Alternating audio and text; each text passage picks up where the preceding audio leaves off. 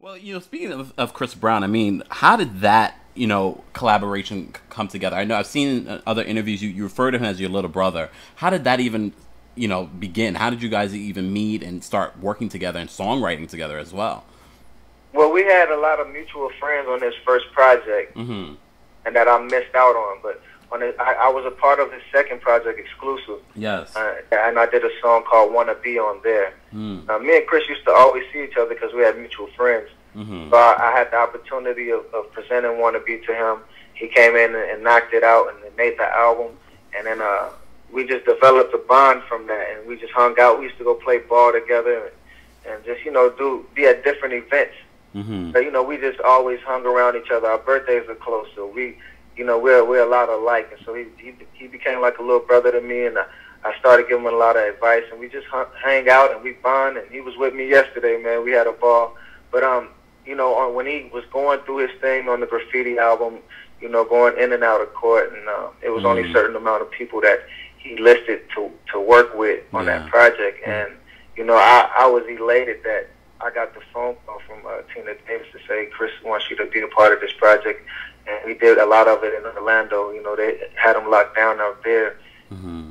and I was just there for him a lot. You know, we play video games, and we gonna make music, we go bowling, and, and so me and me and Chris have a special bond, Yeah. really like my little brother, man. So um, shout out to Chris Brown, and I'm a part of the uh, Fame out the Fame album Wet the Bed, uh, which is his current single uh, I co-wrote. That's a really great record, Lonny.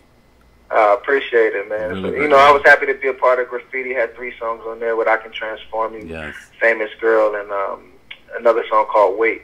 But yeah, I got with Wet the Bed on fame, and then I have like maybe two two songs coming on this Fortune album.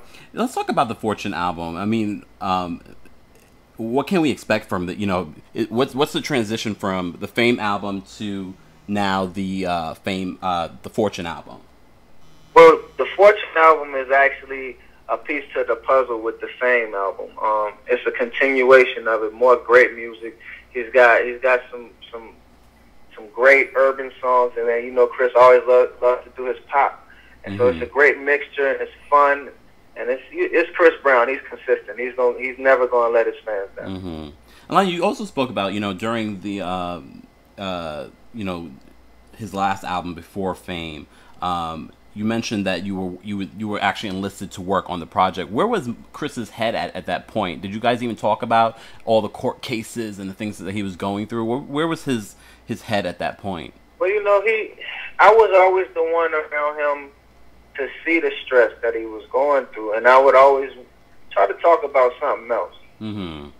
Uh, every once in a while, he would vent to me, and you know, he not only did he break his fans' heart, and, and you know, it was just a devastating situation. He broke his own heart. You know, mm he had to find himself again, and Chris really, he, you know, he he was he was transitioning from a, a, a boy into his manhood, Mm-hmm. and that's for any man, real man out there that made that transition. You know, that's a hard one. Mm-hmm. That you gotta weed out the immaturity, Yeah. gotta figure out your problems, and so that you can excel as a man and become a better man all the way around, a better son, better brother, or whatever. And so he was going through that, and it and it wasn't easy for him because you know when you when you have success at the team and and you you're paying for grown people's lives, Mm. and so there's a lot of responsibility on him, and so it it, it was just it was a transition for him, with growing pains, you know, Mhm. and it, was- it it was a very devastating moment for him, and and it's it's good to see him back. He's happy now, you know, in spite of the people that's still trying to hold him down and slap him in his face with his past, but he's he's working through it, and, and God is blessing him. And one one thing, you know, uh, here on Radio, we've been trying to speak with Chris Brown. I'm sure everybody wants to speak with Chris Brown, but uh, I'm glad that that we have an inside with you, Lonny.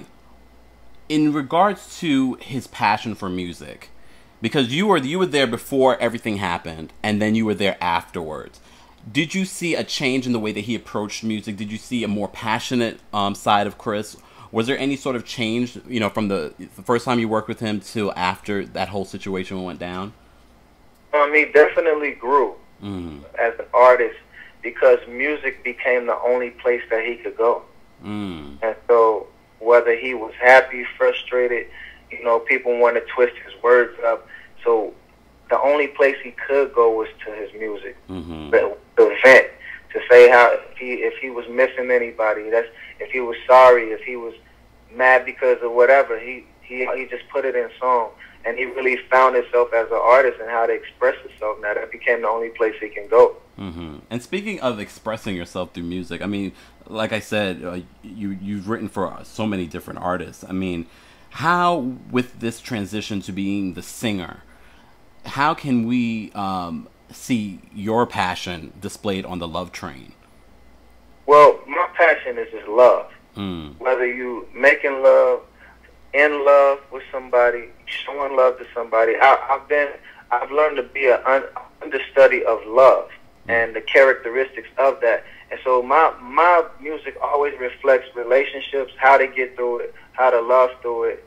When you, or just the experience of making love and loving somebody and having fun doing that, mm-hmm. and just you know, just the ups and downs of a relationship, but actually learning how to love through any situation, any adversity that you have in a relationship. You know, that's not. I, I watched that and I said, well, that person doesn't know what love is. He don't really know how to love. So I really became a study of the characteristics of love and how to operate in a relationship and a friendship. You know, and uh, whether it's a relationship with your mother and father, your brothers, and sisters, or if you're in love with somebody and, or married to somebody. I, my music is all you'll always be able to relate to my music because my passion is love. Mm. And you, you and you're currently are you still recording for that album or are you done?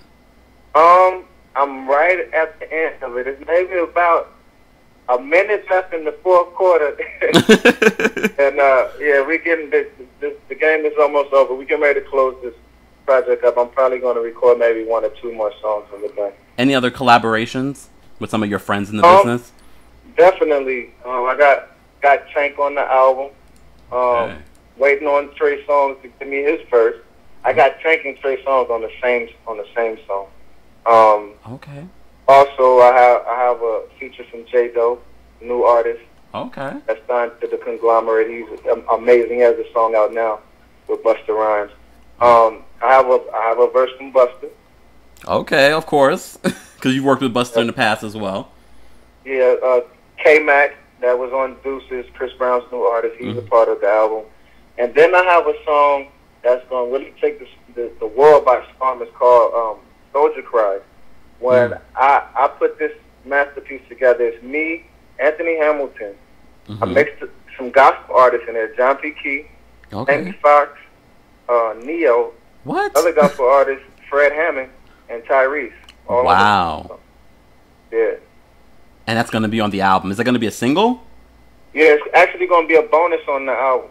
Oh, wonderful. That sounds like it's going to be epic. Yeah, you know, it's big. It's a Grammy record, I promise.